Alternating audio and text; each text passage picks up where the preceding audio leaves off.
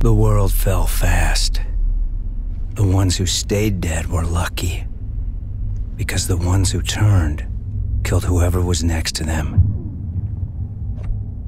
Families ripped apart by their own. Survival. It's not easy anymore. There's no code, no honor, no rules. What's left is chaos and cruelty. And in this world, the future looks bleak. You need to change that. But there are those who would stop you. Those who enjoy the new world. To help us all, you need to fight back.